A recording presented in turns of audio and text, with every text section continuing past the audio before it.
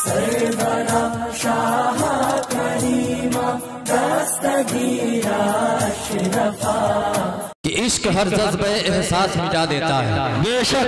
क्या बात है, है, बहुत जी ये करम नवाजा नवाजी है कुशीनगर वालों के लिए। कि यकीनन इस दयार में हम हम हम हम अल्हम्दुलिल्लाह। हज़रत अल्लामा मौलाना सैयद हिदायतुल्लाह साहब किबला, इनके चेहरे की जियारत हम किया करते हैं। शेर से बात करें कि इश्क हर जज्ब एहसास मिटा देता है। बोलिए बोलिए सुभान अल्लाह जी, जब तक बोलेंगे नहीं, मैं इसीलिए आया हूँ कि आप बोल दीजिए, मैं अपनी जगह ले लूँगा। आप बोल देंगे, मैं अपनी जगह ले लूँगा। इश्क हर जज्ब एहसास मिटा देता है। खुद को माहौल से बेगाना बना देता है। इश्क हर जज्ब एहसास मिटा देता है। खुद को माहौल से बेगाना बना देता है। और हम इंसान भुला सकता है कैसे हमको? हम इंसान भुला सकता है कैसे हमको? वह तो रज्जाक है, कीड़ों को गिजा देता है। वह तो रज्जाक है, कीड़ों को गिजा देता है। वह तो रज्जाक है, कीड़ों गिजा देता है। और यकीनन आप तमाम हजरात बड़ी देर से बैठे हुए हैं। बाद नमाज़ ऐशा गालबन उसी वक्त से आप तशरीफ़ फरमा है। अब एक शेर मैं पढ़ता हूँ। आले बैत के हवाले से कि शहीद हो के भी कुरान सुना के चलता है। पीछे वाले मोहल्ला बोले सुबह अल्लाह अल्लाह शहीद हो के भी कुरान सुना के चलता है और अली का लाडला तेवर दिखा के चलता है। शहीद हो के भी कुरान सुना के चलता है और अली का लाडला तेवर दिखा के चलता है और सरे हुसैन ने, सरे हुसैन ने नेजे से कर दिया ऐलान। सरे हुसैन ने नेजे से कर दिया ऐलान। अरे जो जीतता है वही सर उठा के चलता है। जो जीतता है वही सर उठा के चलता है। सरे हुसैन ने, सरे हुसैन ने नेजे से कर दिया जीतता है वही सर उठा के चलता है। जीतता है वही सर उठा के चलता है। यहाँ से मैं शुरू होता हूँ। आप हिंदुस्तान के सरजमी पे है। जरा आपने देखा भी होगा कि मुल्क हिंदुस्तान में रहने के बाद आप किस किस गलियों का और किस किस तरह के किस्मों के शिकार आप होते हुए नज़र आए हैं। क्या कभी आपने सोचा है कि रास्ता आपका बंद किया जा रहा है? क्या कभी आपने सोचा है कि आपको मस्जिदों तक जाने नहीं दिया जा रहा है? क्या कभी आपने सोचा है कि आपको मदरसे तक जाने नहीं दिया जा रहा है। क्या कभी आपने सोचा है कि आप अपने घरों में दुब के पड़े बैठे हुए हैं? आखिर आखिर इस मुल्क के हिंदुस्तान में आज भी अगर सांस ले रहे हैं तो किसके बदौलत ले रहे हैं? आज भी अगर आप जी रहे हैं तो किसके बदौलत ले रहे हैं? ये मेरी ही बोली नहीं है। अल्लामा इब्राहिम साहब की वजह से पूछेंगे, किसी भी आलिम दीन से पूछेंगे, हम तो हम हैं। दिया करते हैं कि हुकूमत हिंदुस्तान पे कोई करता हो, अगर राजधानी कहीं माना जाता है अगर इस हुकूमत हिंदुस्तान पे अगर सबसे बड़ी हुकूमत अगर कोई किया करता है तो वह किसी और की जात नहीं है, बल्कि वह हुकूमत किया करते हैं तो हिंदुस्तान के राजा किया करते हैं।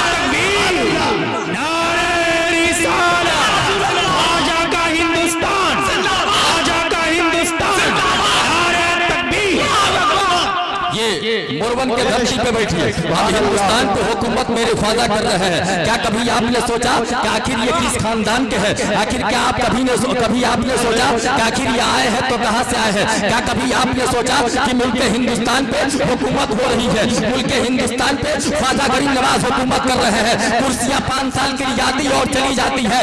सुबह क्यामत तक इस मुल्क के ऊपर हुकूमत अगर कोई करेगा तो वो ख्वाजा गरीब नवाज़ की जात है। अब जरा सोच लीजिए और यही से रुक के हुसैन निजामी का पैगाम नोट कर लीजिए। मोरबन के पूर्वो जवाब रामकोला के पूर्वो जवाब के मुसलमानों यकीन अपने किस्मत पे नाश करो। क्या इस इलाके के लिए?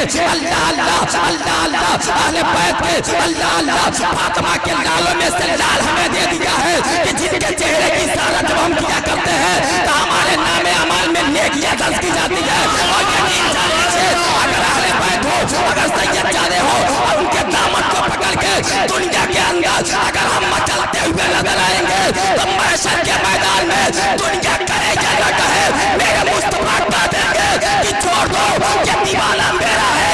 इसलिए कि दुनिया के अंदर किसी और से मोहब्बत करे या न करे बल्कि ये मोहब्बत किया करता था तो मेरी अहले बैत सुभान अल्लाह। मोहब्बत करता था तो किससे करता था? अहले बैत से करता था। मैंने आयते करीमा पढ़ी है। थोड़ी देर बहुत कम वक्त मुझे मिला है। अब कुछ देर और बचा हुआ है, लेकिन सुने आप तमाम मचल के बोले सुभान अल्लाह और प्यार से बोले सुभान अल्लाह पीछे वाले लोग हाथ उठा के बोले या रसूलुल्लाह। ईमान वालो अल्लाह से डरो और सच्चों के साथ हो जाओ। रब ने कुरान के अंदर अगर याद किया है तो ईमान वालों को याद किया है। याद किया है तो आपको याद किया है। चला देख तो लिया जाए। यकीनन ये सादात कलाम का अल्लाह अल्लाह ये जुल्म और ये काफिला आपके गाँव में अल्लाह अल्लाह तशरीफ़ लाए हुए हैं। यकीन जाने जिन्हें 500 किलोमीटर से लोग जाते हैं जियारत के लिए लेकिन आज आपके मोहब्बत में आपके बयान में तशरीफ़ लाए हुए हैं। कोई जोशी इलाहाबाद से तशरीफ़ लाए हैं। अल्लाह अल्लाह ये अहले बैत वाले हैं कि जिनके हम जिनका अगर हम खिदमत कर लेंगे तो कसम खुदा की यहाँ भी कामयाब होंगे और वहाँ भी कामयाब होंगे। बात बताओ। हज़रत उम्र फारूक है सुबह अल्लाह बोलिए अल्लाह हज़रत उम्र फारूक, अल्लाह से डरो और सच्चों के साथ हो जाओ। अब सच्चों के साथ हो जाओ। अब चले तो सही, देखे तो सही। हज़रत उम्र फारूक है, आप कुर्सी खिलाफत पे तशरीफ़ फरमा है। आप जो है कि कुर्सी खिलाफत पे तशरीफ़ फरमा है। तारीख पेश करती है। क्या नबी की इज़्ज़त? हम जो है कि हज़रत उम्र फारूक से ज़्यादा क्या हम कर पाएँगे? नहीं कर पाएँगे। इसलिए कि हज़रत उम्र फारूक, अल्लाह अल्लाह नबी के पीछे नमाज़ अदा किया करते थे। नबी के साथ कभी कभी दस्तरखान पर भी बैठा करते थे। क्या वो जो है कि हज़रत उमर से ज़्यादा हम इज़्ज़त नबी का करेंगे तो नहीं? अब कहने का मतलब ये देख लिया जाए, अल्लाह अल्लाह आप कुर्सी खिलाफत में है। तारीख ये पेश करती है कि एक इमाम हसन हुसैन है और अहले बैत वाले हैं। अल्लाह अल्लाह, इमाम हसन हुसैन है। दोनों पे दोनों लोग आते हैं और आने के बाद हज़रत हज़रत उम्र फारूक है। आपने कुछ ना किया था, बल्कि तारीख ये पेश करती है कि आप एक एक हज़ार या पाँच पाँच सौ दिरहम आपने दोनों अहले बैत है कि लालों को दिया और देने के बाद एक एक हज़ार दिरहम देखे जब आप वापस कर दिया है, अब अल्लाह अल्लाह, वही हज़रत उम्र फारूक है। जब उनके औलाद आते हैं, जब उनके बेटे आते हैं, उनके साहबजादे आते हैं, तारीख ये पेश करती है। आपने कहा था कि अबू जान मुझे भी कुछ अनायत कर दिया जाए। अबू जान मुझे भी कुछ दे दिया जाए। आपने पाँच सौ दिरहम निकाला, अपने बेटे को दिया था। चला जहन हाजिर रखिएगा। जब पाँच सौ रुपया, पाँच सौ दिरहम जब आपने उन्हें दिया था, तब बेटे ने कहा था बाप से अबू जान मैंने अभी देखा है काली के लालों को आपने एक एक हज़ार दिरहम दिया हुआ है और मुझे आप पाँच सौ दिरहम दे रहे हैं। मतलब क्या है? कसम खुदा की, ईमान ताज़ा हो जाएगा। तब हज़रत अल्लाह अल्लाह उम्र फारूक ने कहा था कि सुन लो, आप इस चीज़ को मत देखो। मैंने उन्हें एक हज़ार दिया था, आपको पाँच सौ दिया था। मैं ये कह रहा हूँ कि सुन लो, अगर तुम जो है कि मेरे पास आए थे, अगर ये तलब कर रहे हो तो मैं तुमसे कहना चाहता हूँ कम से कम अल्लाह अल्लाह हुसैन के जैसा के तो दिखा दो। ये तुझसे नहीं हो सकता है। हज़रत उमर फारूक है। आप उनका क्या मिल रहा है, चाहे जो कि अदालत के कुर्सी पे हम डोले बैठे रहे। अगर मेरे सामने कोई अहले बैत आ जाए तो कुर्सी छोड़ के नीचे उतर दिया जाए। इसलिए कि खानदान किसी और का नहीं है। अगर खानदान है तो अल्लाह अल्लाह, अहले बैत। बहुत दूर का जाए मेरा वक्त बिल्कुल करीब हो गया बिल्कुल करीब हो गया। जो वक्त मुझे दिया गया उसी में मैं काम करूँगा इंशाल्लाह। फिरिश्त बड़ी लंबी है लेकिन एक बात और आप सुन लीजिए। अब बहुत दूर ना चला जाए। बरेली के धरती पे तो चलिए सुबह अल्लाह जी सुननी है चल के बोलिए सुबह अल्लाह सुबह बरेली के धरती पे चलिए। ईमान ताज़ा कर लीजिए। हम सुन्नियों की जान इमाम इश्क मोहब्बत तारीख पेश करती है कि आपने सुना होगा कि एक मरतबा कुछ उनके चाहने वाले कुछ उनके चाहने वाले पालकी लेके पहुँचे थे हज़रत काल पालकी लेके पहुँचे थे और हज़रत को उसमें बैठाते हैं। और बैठाने के बाद जब लेके चले हैं, चंद ही कदम बढ़े थे अल्लाह अल्लाह, इमाम इसको मोहब्बत ने कहा कि पालकी रोको, सवारी को रोक दो। अब लोगों ने कहा कि हुजूर क्यों सवारी रुकवा रहे हैं? मतलब क्या है? कहा, सवारी रोको। जैसे ही सवारी को रोकने वाले ने सवारी को रोका था, जब आप जो है कि नीचे हारते उतरते हैं, और उतरने के बाद जैसे ही उसमें से निकलते हैं, निकल के पूछा था ये बताओ इसमें कोई सैयद है क्या? इसमें कोई सैयद है क्या? इसमें कोई अहले बैत वाला है क्या? कहा कि हुजूर, इससे आपको क्या मतलब है? आप तो बैठे हैं और बैठ के चलिए। कहा, नहीं नहीं, जब पालकी लेके तुम लोग चल रहे थे तो खुशबुएँ किसी और के घर की नहीं आ रही थी, बल्कि खुशबू आ रही थी अल्लाह अल्लाह फातिमा के घर के खुशबू आ रही थी। खुशबू आ रही थी। ताली के पैर की खुशबू आ रही थी। कसम खुदा की अल्लाह अकबर चंद कदम नारे तकबीर नारे रिसालत। नवाज़ मोहम्मद साहब कबीरा चंद कदम लेके चले थे। और आला हज़रत ने कहा कि पालकी को रोको इसलिए कि खुशबू अहले बैत की आ रही है और खुशबू अहले बैत की आ रही है। कसम खुदा की पालकी को रोका जाता है और रोकने के बाद इमाम इसको मोहब्बत है, बरेली के दास्तान है, हम सुन्नियों के जान है। आप नीचे उतरते हैं और उतरने के बाद कहा था कि इसमें जो सैयद है बता तो दे। ऐ मुसलमानों, जब वक्त में इतना बड़ा इमाम होके इन जो है कि सादात कराम की इज़्ज़त और ताजीम कर रहे हैं तो हम तो इनके कदमों के धूल है, इनके कदमों के खाल है। अगर मेरे नज़रों के सामने कोई सादात कराम आले बैत का, अल्लाह अल्लाह फूल आ जाए तो उसे ऐसे मत छोड़ दिया जाए, बल्कि कदमों को भी चूम लिया जाए और हाथों को भी चूम लिया जाए। ये दीवाना किसी और का नहीं बल्कि दीवाना मेरा है इमाम इसको मोहब्बत से जब पालकी को रुकवाया और पूछा था कि बता कौन इसमें जो कि आले रसूल है कौन इसमें आले रसूल है कसम खुदा की अल्लाह अल्लाह जो आले रसूल थे उन्होंने कहा कि मैं ही आले रसूल हूँ कहा कि पालकी में आप बैठ जाइए आपके कांधे पे अहमद रजा नहीं चलेगा बल्कि अहमद रजा के कांधे पे आप चलेंगे कसम खुदा की इमाम इसको मोहब्बत है पालकी के अंदर अल्लाह अल्लाह। और सैयद साले को बैठाते हैं और बैठाने के बाद पालकी लेके खुद चल रहे हैं। गोया वो बता रहे हैं कि ये तुम्हारे लिए अल्लाह अल्लाह जिस्म भी है और ये तुम्हारे लिए जान भी है। इनके दामन को पकड़े रहोगे यहाँ भी कामयाब रहोगे और वहाँ भी कामयाब रहोगे। यहाँ भी कामयाब रहोगे।